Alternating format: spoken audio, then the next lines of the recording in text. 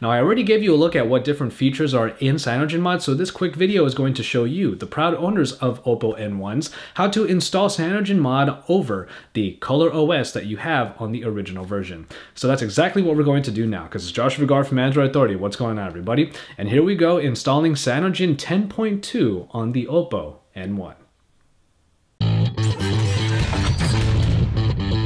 Now, before I even get into the procedure of installing CyanogenMod mod on your Oppo N1, which is incredibly easy, I do think it goes without saying that you should uh, back up all of your data on your N1 before you even do anything on here. Connect it via your USB and go ahead and just extract and copy all of your files from the N1 to a folder onto your computer so you can back up your pictures, your media files, anything that you need that is important on there. The reason being is because when you put a ROM onto your Oppo N1, it completely wipes the user data, so make sure you do that first. After that, you can head over to Oppo's main website or even CyanogenMod's main website, cyanogenmod.org. At Oppo, it's just a simple matter of getting to the N1 firmware page and you will find the same file there as well. After that, connect your N1 via via USB to your computer again and copy over that zip file to the root of your actual phone, of the actual N1 itself, so that it sits squarely in the first place that you go to when you first get into your phone using the file system in your Mac or your Windows PC.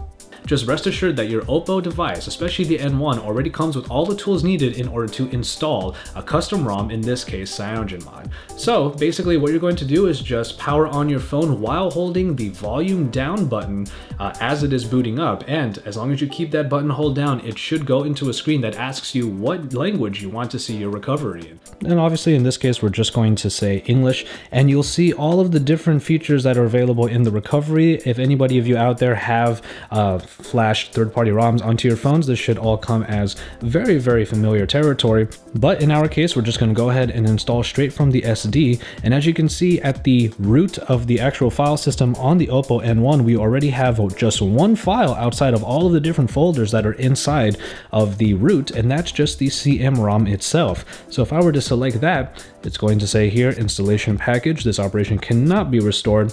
We're always going to say yes to this. Remember, back up your files before you do anything here because this will completely wipe the phone. So we're going to go ahead and hit yes, and it will go ahead and update on its own. All right, and then the installation is successful. Uh, basically here we can hit yes to go back to the recovery, but there's nothing for us to do there. So we're just gonna go ahead and reboot and we should see CyanogenMod load up right away. And there you go, the awesome loading screen of CyanogenMod, that blue Android mascot right there, giving you the look of you're about to get some awesomeness here.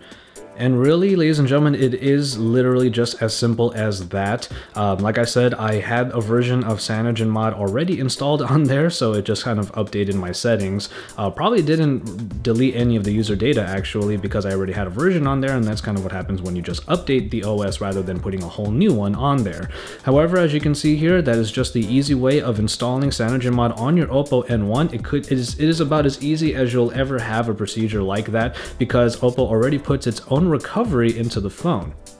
But of course, if you want to go back to the original Color OS, you can always go back to Oppo's website and find the original firmware there, the original file, and put that onto the root of your file system on the Oppo N1. And after that, the procedure is literally the same. That's one of the reasons why we really love Oppo in terms of their hardware, which already looks really nice, but underneath it already has all the tools you need for full customization of your Android experience. After that, CyanogenMod really is the uh, operating system or the ROM, the third-party ROM to put on here because they do take advantage of all that the N1 has to offer.